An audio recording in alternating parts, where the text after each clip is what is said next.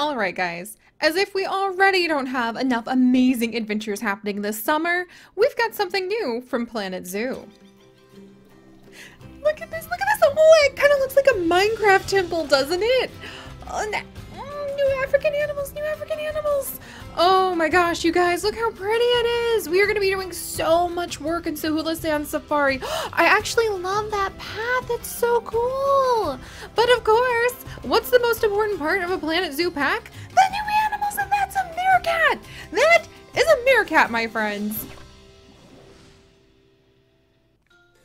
Alright, so as usual, that was ridiculously exciting because with each and every one of these Planet Zoo DLC packs, we get just little snippets of flavors from around the world of different architecture. Like, look at these, look at how cool these towers look. I cannot wait to see what this kind of like clay stonework appearance does for all of the creators and what they're going to be putting out there into the world. It's going to be so fun. And is that a new tree? I think there's some new trees. I think this is a new tree. Don't worry, I am on it. I am constantly searching for all of the new greenery. Though I have to say, this is such a pretty pack for the architecture. However, the thing that I really am the most excited about is definitely the new animals! And ironically enough, the new paths. I didn't really notice the new paths the first time I watched this announcement for the Africa pack, but I'm telling you guys, I really love these colors and I really love the path work. And also I love that it looks like judging from all of the just designs and knowing how Planet Zoo works, we probably have all sorts of different color palettes we can choose for, for these buildings. And I just love the idea of building these bright, beautiful, vibrant structures in a nice African setting. Oh, and look at the way you can make a little market. I'm such a sucker for making little markets like that. Also, I'm a sucker for adorable statues. And y'all see one of the new animals right over here, actually two of the new animals right over here, we have a fennec fox statue. Yes, we will be talking more about fennec foxes and we will be talking more about this really cool looking dung beetle. Oh my goodness, in just a moment. But I wanted to go back through, just see if we can see anything new or anything that leaps out to you with sheer excitement. Oh my gosh, yeah, I'm definitely thinking those are new trees. I'm not 100% sure because we have so many plants now in Planet Zoo, which I love. That path, I adore that path. It's just vibrant and pretty and happy. I would be overjoyed to work somewhere like, you know, Sahula Sand Safari that had a path that looked like that. And I love this fencing. Oh my gosh, that I think that's official. Is that official fencing? I think that might be official fencing because there's a door in it. Instead of having to like mock up our fences, that may be official fencing. I would be overjoyed about that. Truly and deeply overjoyed. Oh, all the pretty colors, vibrant. Look at the meerkat statues. Those are so cute. I really love them. I hope you can make them whatever colors you dream of. And I still cannot believe that my dream of meerkats has happened. That is one of the animals I have repeatedly told you guys that I have wanted to see in Planet Zoo for ages now. Because come on, look at him. He's so freaking cute. And meerkats have such an amazing social society. They're ruled over by one like dominant female who is the only one to have the babies and they eat scorpions and have babysitters and we're going to be talking a lot about meerkats in just a second here. And here we go, a little bit more information for all of us about the Africa pack that is coming on in. I have to say, for being one of the download packs, which means that we're going to have probably the usual, like, I think it's around 10 US dollars. Ooh, that's really pretty. But around like 10 US dollars, and usually these packs come with four new habitat animals and one new exhibit animal. I believe that's the case this time around too it's kind of a bold statement to, to call this like the Africa pack. And as we continue to move forward and we continue to watch the Planet Zoo DLC expand, we continue to watch all of the different animals that you can have in Planet Zoo just proliferate and end up being added into the world over time, it's going to be kind of interesting to see how they're going to rename some of the packs when you have animals that are also from Africa, for instance, or also from South America. But all right, so what are the animals that we are getting? Well, you guys, there are indeed four habitat animals, three of which I have some fun pictures of for you, like this meerkat. So we are going to be having meerkats, and look at how cute they are. I love them. I can't wait to see them scurrying around and being adorable. I'm also really fascinated at the way that they dig. You can see they have their little dig spots. Meerkats create beautiful and elaborate little colony tunnels where they will have little nurseries where the whole family will live. And meerkats are really fascinating. They live in big groups that are called a mob, a gang, or a clan, depending on how you want to describe a group of meerkats. And sometimes those groups are like just as small as maybe three meerkats or maybe like a dominant female, her mate, and their first litter of pups but they often stay in family groups that can grow over time, and those groups can become as large as 50 meerkats with just one breeding dominant female in charge of them all and the only one who should be having pups. Any of you guys who have ever watched Meerkat Manor know all of that, and I hope that you are just as excited as I am to dive into creating our own version of Meerkat Manor, no doubt in Sahula Sand Safari, and with the new timed challenge that will be arriving with with this DLC pack. That makes me really excited because as you guys know now, with the timed challenges, if you beat the challenge, you get a statue, which is so cool. And I still haven't earned any new ones. We're gonna have to do more of that for sure. But the other animals, and there are more, that come in this pack are actually going to be the southern white rhino. We do already have one rhino species, but it belongs to Asia. So I'm very excited to have the southern white rhino. The southern white rhino is the companion subspecies to the northern white rhino. And you guys have probably heard about the northern white rhino because it is the subspecies of rhino that only has two surviving members. Both females, a mother and her daughter, they are the only surviving members of their entire species in the world, just two of them, which is really devastating. However, there are some amazing efforts going on with cloning experiments and with in vitro fertilization for our rhinos that I actually got to see firsthand when Planet Zoo shipped me out to the San Diego Zoo and I visited the Frozen Zoo. It was a life-changing experience. So maybe in the future I will have some good news to share with you guys about the northern white rhino, but for now we will be able to work with the southern white rhino, who are basically their cousins under the white rhino species. And thankfully, the southern white rhino's population is far more robust than just two. And the last census in 2015 estimated that there are around 20 thousand southern white rhinos left in the world. So thankfully that's a much higher number than two. And it'll be really fun to have them in our zoo because I believe they are not nearly as timid. And I've met some of them in person and they love being in big groups by the way. They found out that white rhinos in particular were not apt to breed in captivity or be very happy unless there were at least a group, I think it was either 7 or 17, females together. Like the females really love to live in family groups with the white rhino, and I just thought that was really adorable.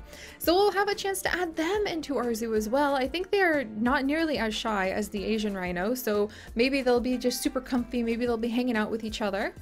Ooh, look at how beautiful that is. They look gorgeous from above. Look at this cute little town. We are going to be doing so much to change Sahula Sand Safari. I cannot wait. And then, of course, the third habitat species that is going to be coming on in is one that I know so many of you guys are going to be freaking out about. It's the fennec fox. And fennec foxes are not only extremely energetic and adorable, but they have the biggest ears in relation to their body size of any member of the canid family tree.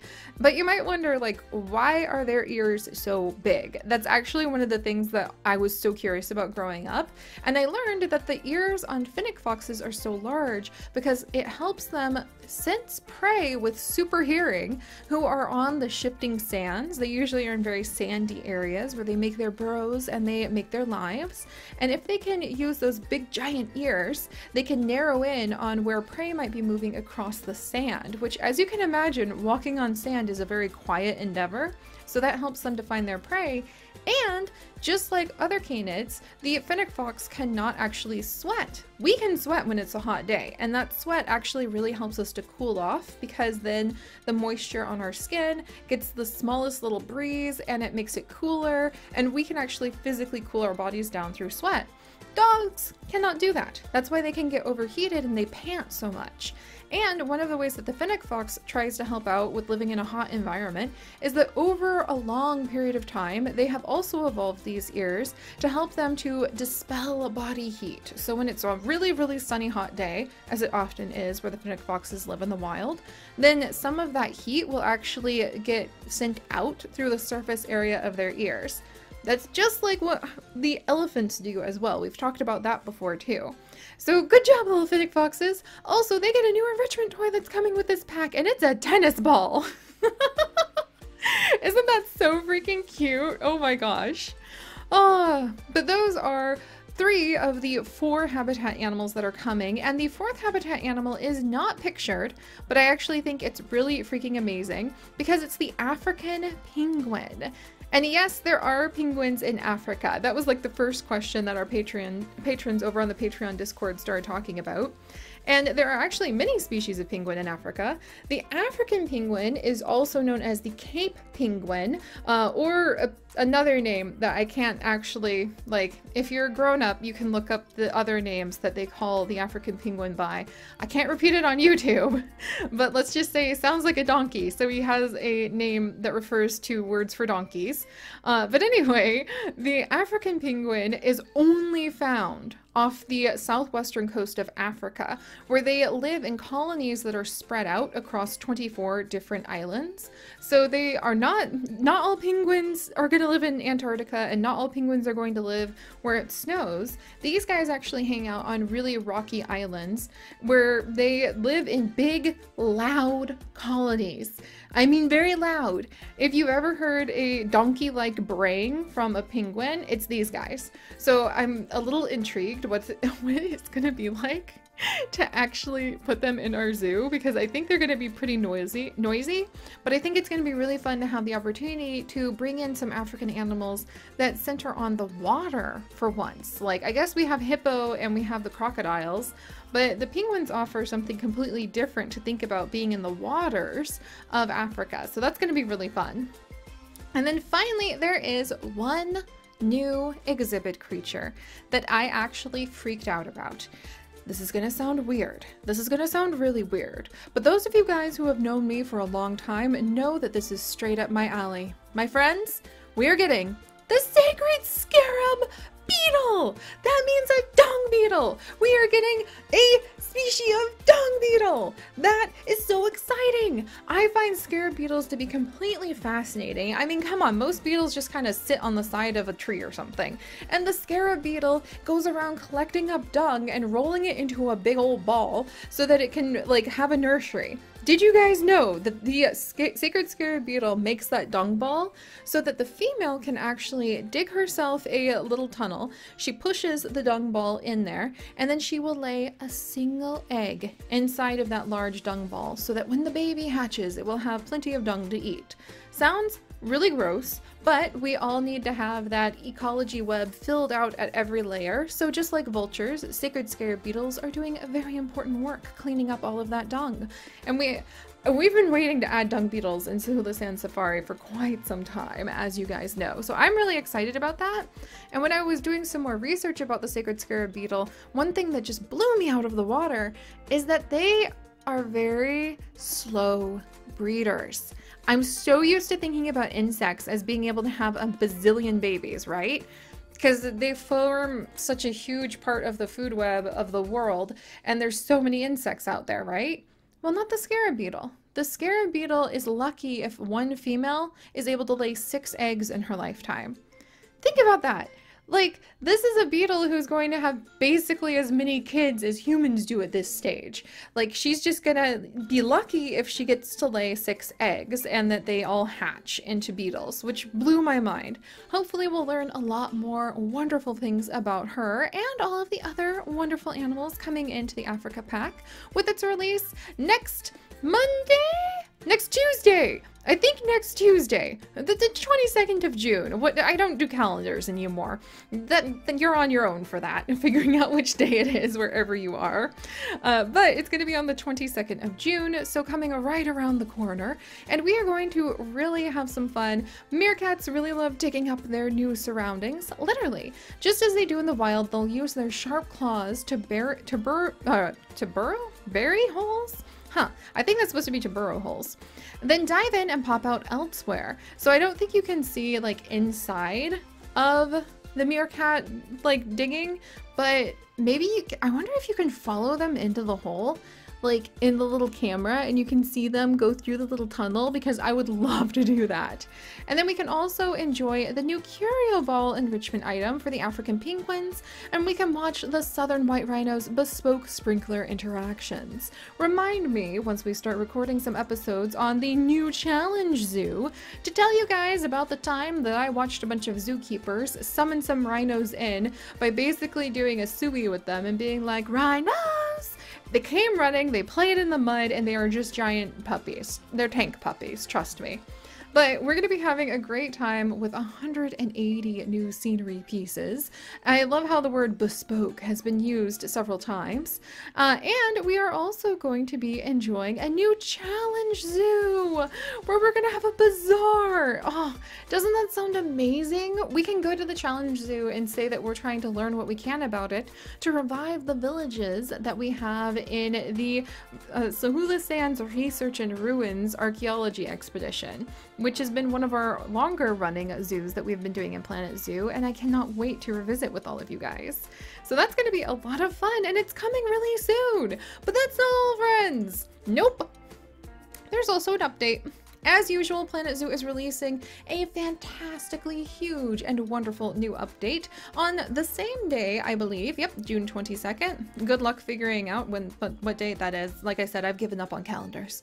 Uh, but we're going to be enjoying the new 1.6 update, same day release, where we're going to be able to enjoy a brand new free timed scenario that just blew my mind because we will be taking over an animal reserve and we're trying to provide provide forever homes to diverse species rescued from Guatemala. As a fun twist, there are no animals in the Trade Center for you to purchase. Instead, rescued animals are going to be gifted to us on a timer. New animals will continue to be delivered throughout the scenario, which adds an increasing level of difficulty as you adapt to provide the best conditions possible. Your main focus in this new zoo is going to be on animal welfare. I love that, you guys! I really hope we see more things like this where maybe you can sign up for some of your, your franchise zoos to participate in rescue animal expeditions. I would love to see that be something that you can maybe optionally opt into for your franchise zoos, um, especially if, you know, most of the time you get a sickly animal. So it's not like you're getting a free animal that's really going to make or break your franchise. But I just, Oh, I love that so much. That's what we're all about here in the pixel biology community. So this update, that will be provided to everybody. So even if you aren't interested in the new African pack, you can definitely enjoy rescuing some diverse species from Guatemala, which I love. And then also if you like bears, will their bear be a update for them as well? They can now swim, which is going to be fantastic for our polar bears. I always thought that was really weird how they didn't do deep diving and swimming. And now polar bears, grizzly bears, Formosan black bears, and the sun bears are going to have beautiful new swimming animations and they're going to be able to dive into the water, which is fantastic.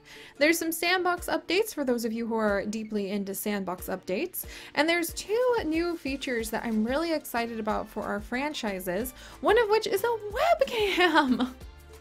like what? Do you guys remember that cute giraffe cam webcam overlay that we have for our streams when we are doing Minecraft streams?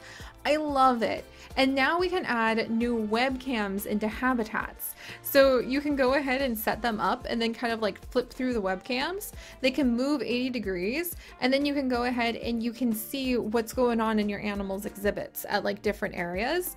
You can upgrade them with night vision so that you can monitor nocturnal animals. And you can actually go ahead and have like on-screen elements like security cameras so you know which camera you're looking at. I just think that's so much fun. There's also um, a marketing boost to zoos whenever you install a webcam. Like you can look at the live feed webcams in real life in so many zoos right now. I adore this. I adore the idea that every now and then you can just take a quick break and you can like cycle through the webcams to kind of get like a really on the ground view of how the animals are living and how they're doing. That's really cool. And then another really amazing new thing that I can't wait to come in this update is the Vista Points. So if you want to give your guest a stunning sight, try using the new Vista Points asset. Here's how they work. You place one down on a path and link it to a building, scenery, enrichment item, or habitat to give the guest a place to move to, stand, and view that area. So if you've noticed like your guests are never going to these spots that are prettiest, you can now guide them to the well-manicured and beautiful gardens of your zoo so that they can have the best, most stunning view from that location. They will receive a happiness boost based on the scenery rating of the vista they're looking at, and that way you can kind of make those focal points that can also drive traffic as well, so that the guest just won't default to standing like in front of a rock and be like, I can't see the animals, which I think sounds fantastic. There's several quality of life features. Um, the one, I'll only point out one for right now. But the one that made me screech with joy is that all animal storage locations are now 200 animals! we no longer are lifted, like limited to just 50 animals. We can have 200 animals. I am so pleased with that. So alright guys, there's quite a bit coming. Like I said, even if you are not into the amazing wonders of meerkats, well one, I'm a little bit concerned for the amount of joy in your life, but I can accept that we all like different things. But two, there's going to be diving bears, webcams, vista points, and a rescue zoo that you can actually participate in. This is going to be amazing. So alright guys, let me know what you think about the upcoming pack, about the fact that meerkats are so freaking adorable! Um, or, you know, why they aren't. If that happens to not be a statement that you agree with, then I won't judge you, I promise. and if you would like to join us on this and literally thousands of new adventures, do please consider subscribing. But most importantly, my friends, stay curious, and I will see you maybe next Tuesday, whatever day that is, when we go on more adventures with meerkats. so I'll see you guys then. Stay curious, guys. Bye-bye.